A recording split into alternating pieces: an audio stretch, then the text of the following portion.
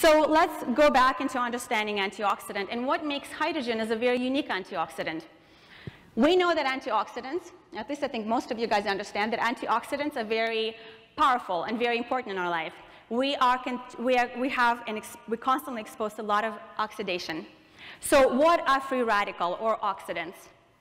They are molecules that are damaging cellular uh, membrane or cellular tissue or essentially very reactive.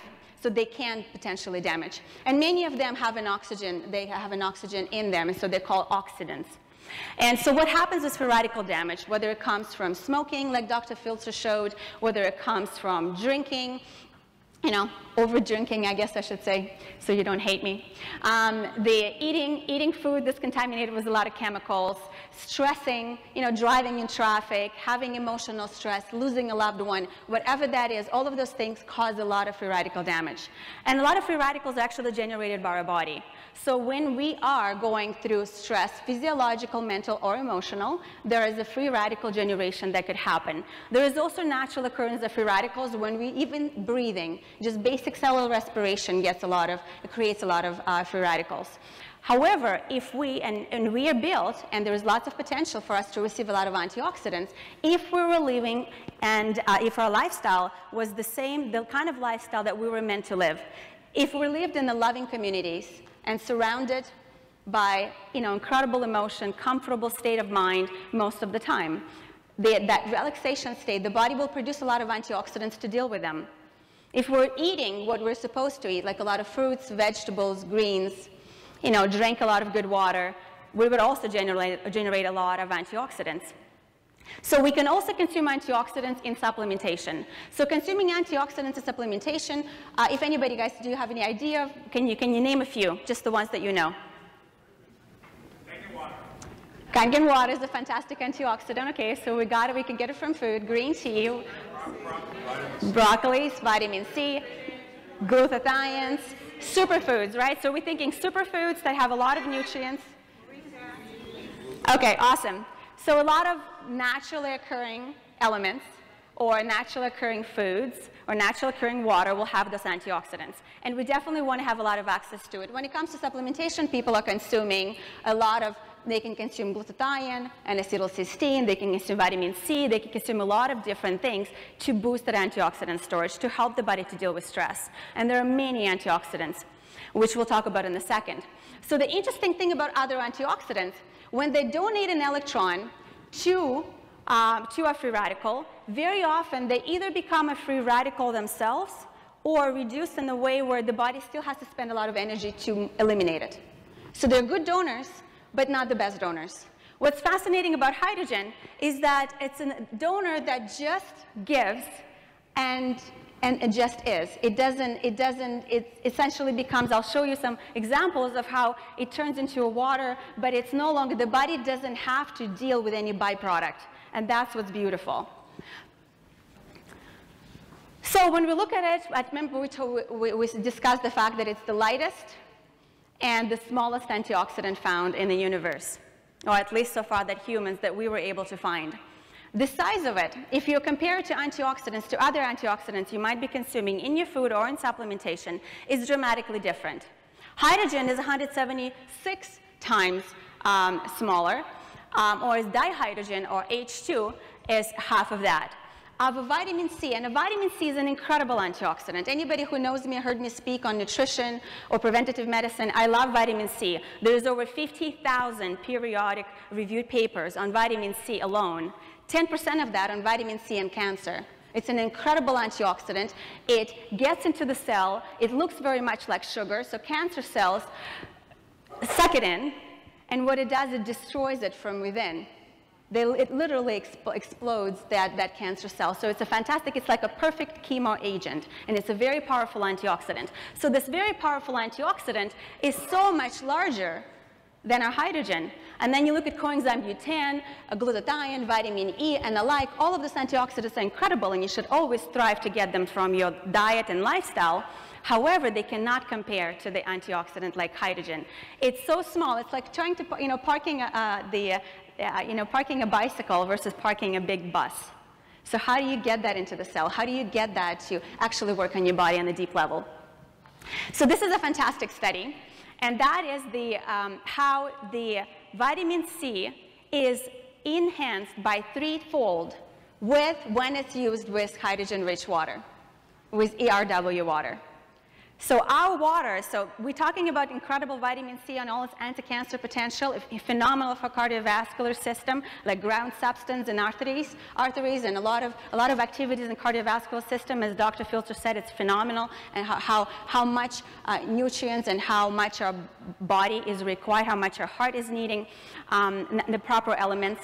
And so antioxidant like vitamin C is phenomenal. So what if you could actually get that second best antioxidant to work three times stronger and three times better than it would have without it.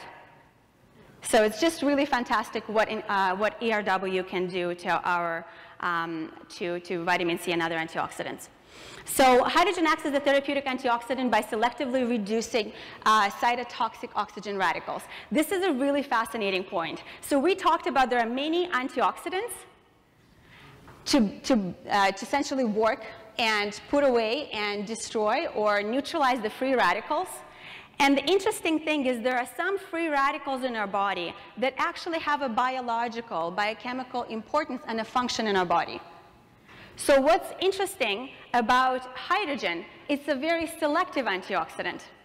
It actually will not neutralize the oxidant that our body requires. There are certain oxidative processes that are happening in your body that are good and that are needed. So it will selectively only take care and neutralize the, anti, the oxidants that do not have that, that have a cytotoxic, cellular toxic effect. Does that make sense?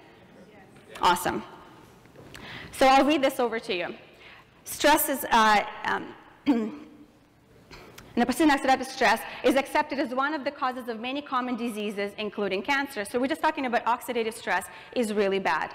Um, we show here that, that hydrogen, H2, has a potential as an antioxidant in preventative and therapeutic application. We induce acute oxidative stress in cultured cells by three independent methods. H2 is selectively reduced uh, the, hydrogel, the, the, hydroxyl radical, the most cytotoxic of um, reactive oxygen species and effectively protected the cells. However, H2 did not react with the reactive oxygen species, which possess physiological role in your human or animal body.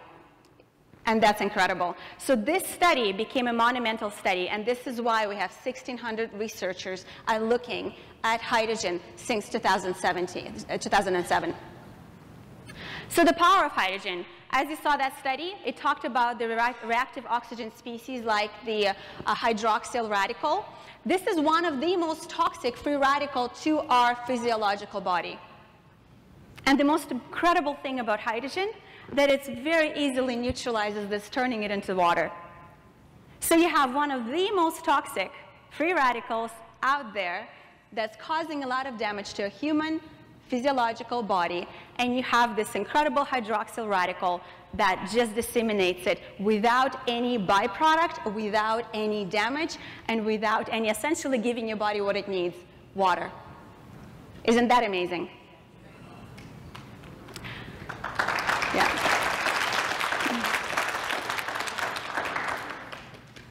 How many of you know what mitochondria is? All of you? Most of you? Some of you. Mitochondria are engines of your cells. Just imagine the engine in a car that pretty much keeps that going, keeps that running. So you have multiple mitochondria in your cells. Those mitochondria, those energy uh, elements, those energy organelles inside of your cell produce energy all the time. They produce something we call ATP. What's incredible, of course, is mitochondria is being stressed a lot around by the environment and toxic stress and emotional, physical, mental stress through our body. So it gets affected. Stress mitochondria will very often produce a lot of free radicals, or a lot of toxic byproducts. So that's what happens to stress mitochondria. What hydrogen can do, we told you already that it can easily take care of one of the most toxic free radical. The incredible thing, it can also donate and make your other antioxidant that the body produces work better. So what it does, it upregulates other antioxidants in your body. So we all run out of antioxidants. We have the systems built in in our body to constantly deal with stress, to constantly keep us alive, to keep us, uh, you know, to, to survive. It's, it's our survival mechanism. And so we have those, we have, we have that process always activated in our body. But the incredible thing about uh, the antioxidant and the hydrogen is that it allows for those depleted storages or that antioxidant production to be boosted up threefold or whatever, whatever that requires. But it's incredible at making that, uh, making that process of antioxidant creation or upregulating those incredible enzymes and those incredible antioxidants that the body is creating. So it makes your own antioxidant stronger and then it also is an antioxidant that is very smart. Um, and this is the mechanism of this and how it reduces oxidative stress through specific pathways and, um, and works with them really, really well. Let's take a look at another study. And this is just to show you, this actually comes from a fantastic review done by a Japanese uh, board, um, and it's an incredible review of a lot of different studies that were summarized in this paper. So I just, I'm going to have a few pictures for you uh, that discuss this paper. So a function of, uh, the interesting thing, the Japanese look at this and they they call this the functional therapeutic effect. So they show that hydrogen, electrolyzed reduced water, gives us a lot of functional um, um, therapeutic modalities. The antioxidant hydrogen is found to be an incredible medical grade antioxidant. So, um, and has a therapeutic value, meaning that it can deal with physiological elements. So we now biologically, biochemically know that it's therapeutically very viable on any human or any human model, a disease model. Clinical data suggests that ERW improves oxygen stress-related diseases. It scavengers re uh, reactive oxygen species and inhibits the damage to the DNA. So what's incredible about an antioxidant like free uh, like, like um, hydrogen or H2 is that it upregulates the function of your antioxidants. It upregulates and modulates the function of your cells. And it also uh, strongly protects the RNA and DNA function in your body. So it's very good at protecting RNA and DNA of your body. And so essentially protecting your genetics. Anti-cancer effects.